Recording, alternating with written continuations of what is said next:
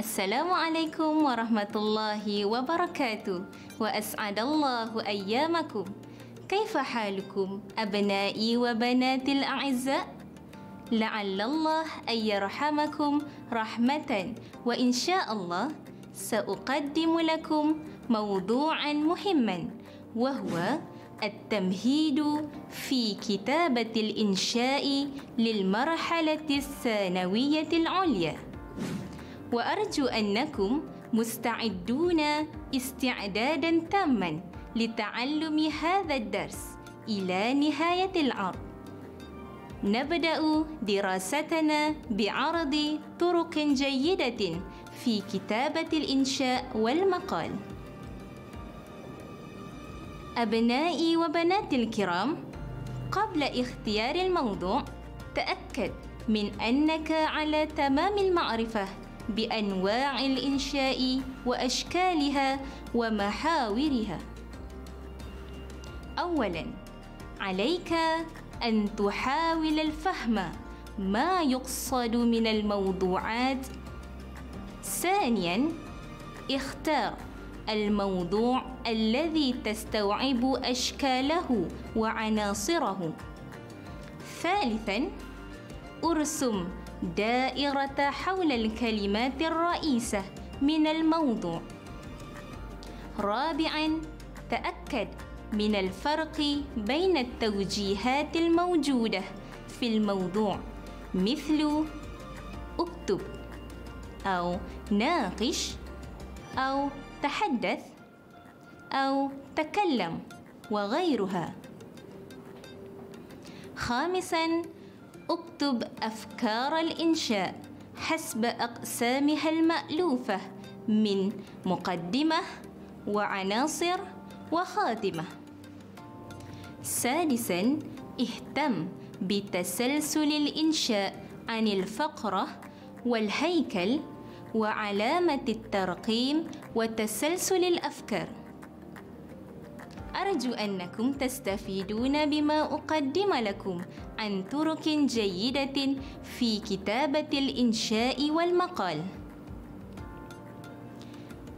أيها الطلبة والطالبات الأعزاء قبل أن نغوص غوصا عميقا في هذا الموضوع أستأذنكم أن تنظروا إلى المعايير التعلم لهذه الحلقة. ففي نهاية هذا الدرس نرجو أنكم تحصلون على ما يأتي. أولاً تعيين أشكال الإنشاء وأنواعه ومحاوره. ثانياً كتابة الإنشاء الموجه يعني التقرير والخطابة. أيها الطلاب والطالبات المحترمون انظروا إلى الشاشة. ولا تنسوا أن تعدوا أنفسكم بالقلم والكراسة لكي تستطيعوا أن تكتبوا النقاط المهمة طوال الدراسة. وأنتم تستفيدون استفادة تامة للحصول على المعرفة التامة عن كتابة الإنشاء. هيا بنا نتعرف إلى أشكال الإنشاء وهي تنقسم إلى قسمين اثنين وهما الإنشاء الحر والإنشاء الموجه فما هو الإنشاء الحر؟ ها فما هو؟ الإنشاء الحر هو كتابة المقال بدون الأوامر والتوجيهات والإرشادات والبيانات المعينة. الآن ننظر إلى أمثلة الموضوعات للإنشاء الحر في امتحان الشهادة الثانوية الماليزية الماضية. منها أولاً حماية الوطن مسؤولية الجميع. في امتحان الشهادة الثانوية الماليزية للسنة 2017 ثانياً دور الطلاب في إنجاح التئام الوطني في امتحان الشهادة الثانوية الماليزية للسنة 2018 ثالثاً الشعب الماليزي شعب متعاطف في امتحان الشهادة الثانوية الماليزية للسنة 2019 أما الإنشاء الموجه ما هو الإنشاء الموجه؟ الإنشاء الموجه هو كتابة المقال باستخدام الأوامر والتوجيهات والإرشادات والبيانات المعينة. وعلى سبيل المثال التقرير والخطابة ونشرة الأخبار والقصة والحوار والرسالة وهلم جرا فالآن سأقدم لكم نماذج الإنشاء الموجه. متسايرة بأنواع كتابة الإنشاء. وهذا بشكل عام والآن تعالوا تعالوا معي. هيا نتعرف إلى المحاور في كتابة الإنشاء بشكل دقيق. المحاور في كتابة الإنشاء تنقسم إلى أربعة أقسام. سأشير إليكم وانظروا إلى الشاشة. تأملوا وانطقوا معا. أولا المحور التربوي. ثانيا المحور الشخصي. ثالثا المحور المهني. رابعا المحور الاجتماعي. وانظروا إلى الشاشة نظرا تاما لنماذج الأسئلة عن المحاور المختلفة. أولا نموذج السؤال للمحور التربوي. دور المدارس في ترقية التربية الدينية لدى المجتمع. أكرر مرة أخرى. دور المدارس في ترقية التربية الدينية لدى المجتمع. نموذج السؤال للمحور الشخصي. مسؤولية الإبن تجاه أسرته. أعيد مرة ثانية. مسؤولية الإبن تجاه أسرته. هيا ننتقل إلى نماذج الأخرى. نموذج السؤال للمحور المهني. المعلم ودوره في تثقيف الطلبة. أعيد مرة ثانية. المعلم ودوره في تثقيف الطلبة. ننتقل إلى نموذج الأخرى. نموذج السؤال للمحور الاجتماعي. دور الشباب في بناء البلاد. أكرر مرة أخرى دور الشباب في بناء البلاد. الآن لننظر إلى أنواع الإنشاء الموجه وهي مركزة بسبعة أنواع منها أولاً القصة. ثانيا الحوار. ثالثا نشرة الأخبار. رابعا الرسالة. وهي تنقسم إلى قسمين الرسالة الرسمية والرسالة غير رسمية. خامسا الإرشاد. سادسا الخطابة. سابعا التقرير. أيها جماعة الطلاب والطالبات الكرام نعيد النظر إلى الشاشة نظرا تاما عن نماذج الإنشاء الموجه عن الخطابة والتقرير. حان الوقت نعيد النظر إلى نموذج الإنشاء عن الخطابة وهي محتاجة إلى الأمور المختلفة منها التحميد لله والصلوات على الرسول وتعزيز آل الرسول والصحابة وإهداء التحية وترهيب الضيوف الحاضرين مع ذكر موضوع الخطابة. فيها أيضا البيان والشرح عن الموضوع مستندا بالأدلة والبراهين والأحداث المعاصرة المتعلقة بالأفكار الرئيسة. وفي نهاية الخطابة كتب فيها ختام الخطابة منها الدعاء والاستغفار. نموذج التمهيد لكتابة الخطابة العربية. أولاً التحميد لله. مثلاً الحمد لله رب العالمين. ثانياً الصلوات على الرسول. مثلاً والصلاة والسلام على أشرف الأنبياء والمرسلين. ثالثا تعزيز آل الرسول والصحابة.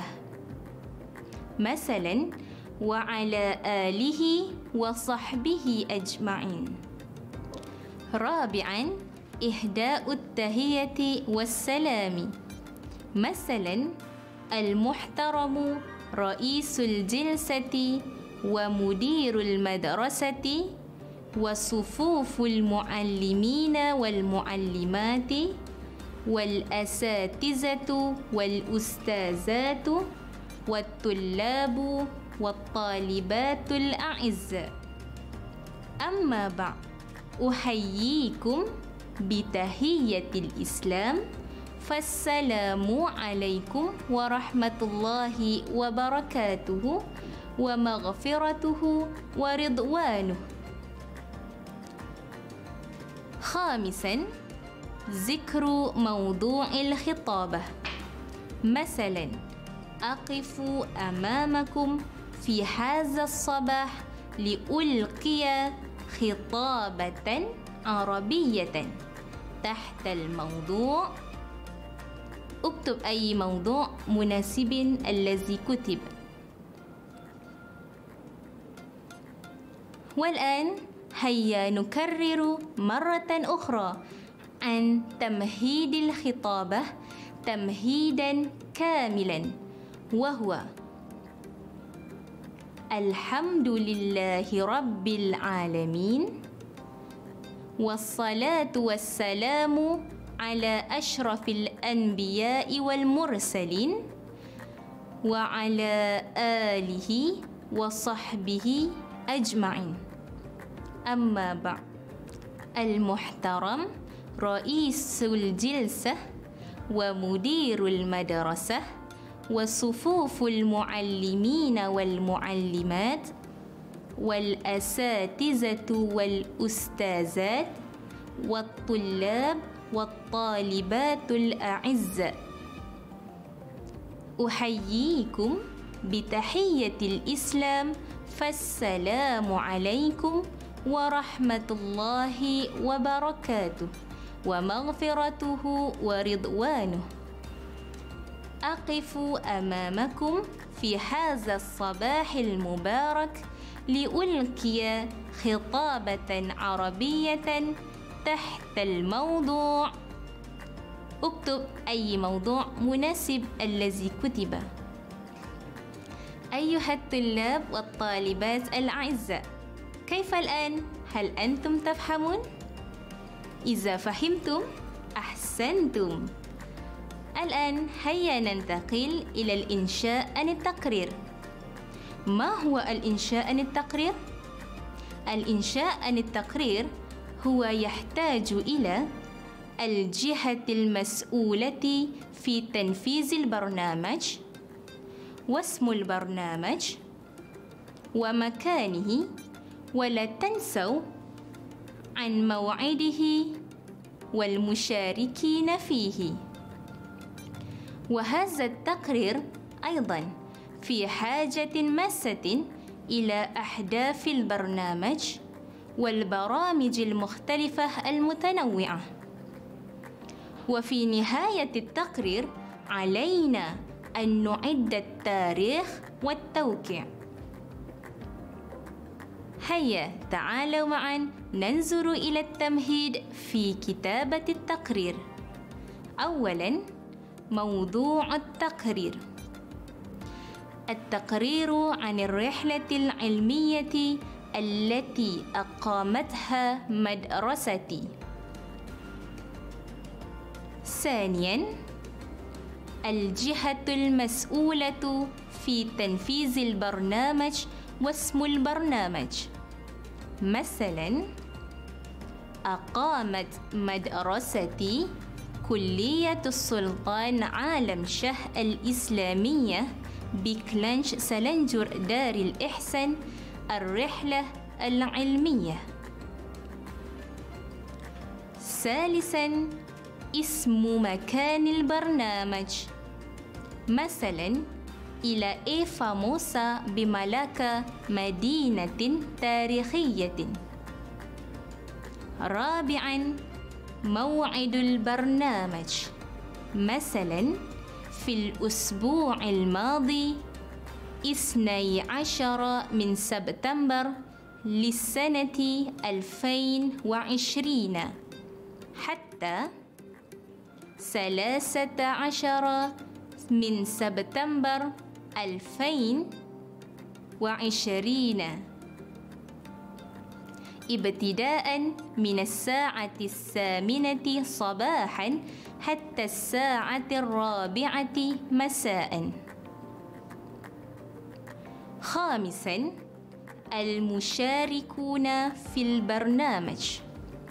مثلا اشترك فيه أربعة عشر طالبا وعشرون طالبة ويرافقهم ثلاثة معلمين وأربع معلمات ومجموعهم أربعون فردا. فلذلك هيا ننظر إلى التمهيد التام في كتابة التقرير. الموضوع التقرير عن الرحلة العلمية التي أقامتها مدرستي. أقامت مدرستي كلية السلطان عالم شه الإسلامية بكلانش سلنجر دار الإحسان الرحلة العلمية إلى إيفا موسى بملاكا مدينة تاريخية في الأسبوع الماضي اثني عشر من سبتمبر للسنة 2020 حتى ثلاثة عشر من سبتمبر للسنة 2020 ابتداء من الساعة الثامنة صباحا حتى الساعة الرابعة مساء. واشترك فيه أربعة عشر طالبا وعشرون طالبة. ويرافقهم ثلاثة معلمين وأربع معلمات ومجموعهم أربعون فردا. وهكذا نرى نموذجين اثنين من الإنشاء الموجه وهما الخطابة والتقرير. والآن تعالوا معا. تحاولون أنفسكم في كتابة التمهيد للتقرير عن الموضوع الآتي. التقرير عن اليوم الرياضي في مدرستك. نموذج الإجابة. هيا ننظر معا. أولا موضوع التقرير. التقرير عن اليوم الرياضي في مدرستي. ثانيا الجهة المسؤولة في تنفيذ البرنامج واسم البرنامج. مثلا أقامت مدرستي كلية السلطان عالم شه الإسلامية بكلنش سلنجر دار الإحسان اليوم الرياضي. ثالثا اسم مكان البرنامج.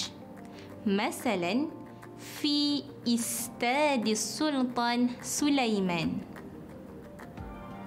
رابعا موعد البرنامج. مثلا في الأسبوع الماضي اثني عشر من سبتمبر للسنة 2020 ابتداء من الساعة الثامنة صباحا حتى الساعة الرابعة مساء.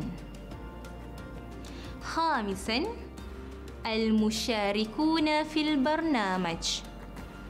مثلا اشترك فيه جميع الطلاب والطالبات والمعلمون والمعلمات ومجموعهم سبعمائة وعشرون فرد. التمهيد الكامل للتقرير السابق. هيا بنا ننظر معا. أقامت مدرستي كلية السلطان عالم شه الإسلامية. بكلنش سلنجر دار الإحسان اليوم الرياضي في استاد السلطان سليمان في الأسبوع الماضي اثني عشر من سبتمبر لسنة 2020 ابتداء من الساعة الثامنة صباحا حتى الساعة الرابعة مساء. واشترك فيه جميع الطلاب والطالبات والمعلمون والمعلمات ومجموعهم سبعمائة وعشرون فرد. الحمد لله قد وصلنا إلى نهاية المطاف. لعل الله أن يرزقكم فهما واسعا عن كيفية كتابة الإنشاء والمقال.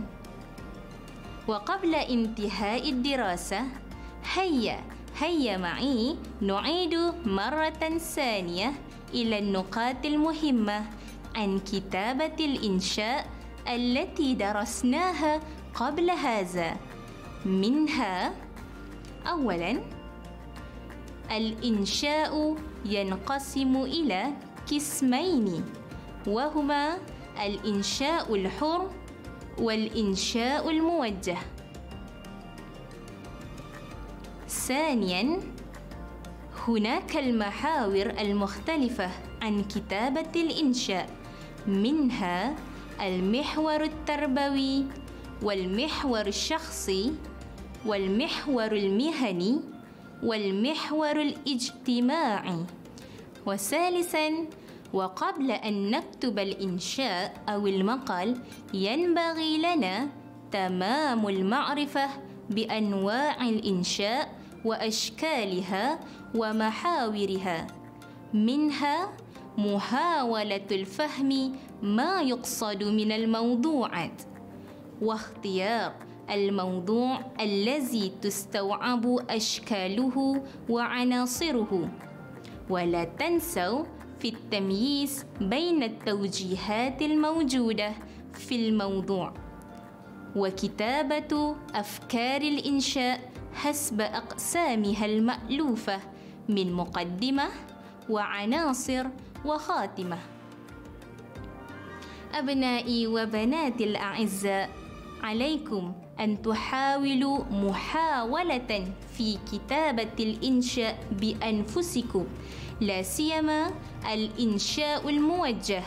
مثلا في كتابة تمهيد التقرير والخطابة.